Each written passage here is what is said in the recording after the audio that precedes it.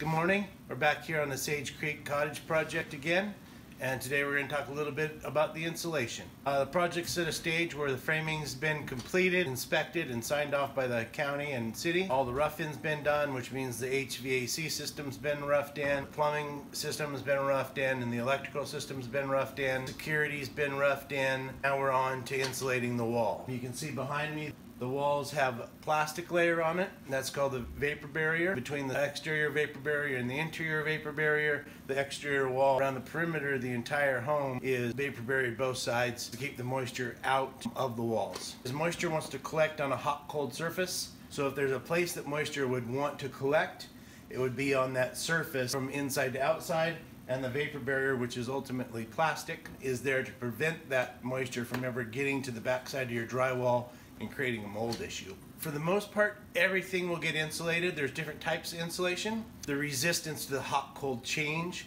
is your R value. The higher the number, the deeper the insulation, the more resistance you get to that hot cold change and heat loss, cooling loss, etc.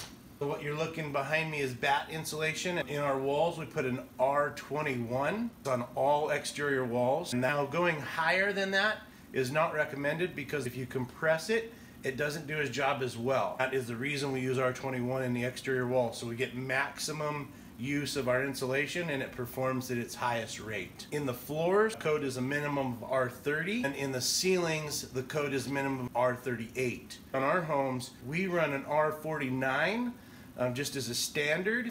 Uh, the statistics say that 80% of your heat loss goes through your attic.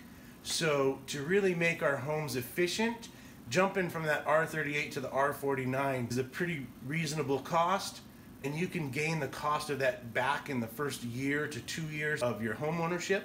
So it's just a really good buy for our customer and we automatically install that in our homes.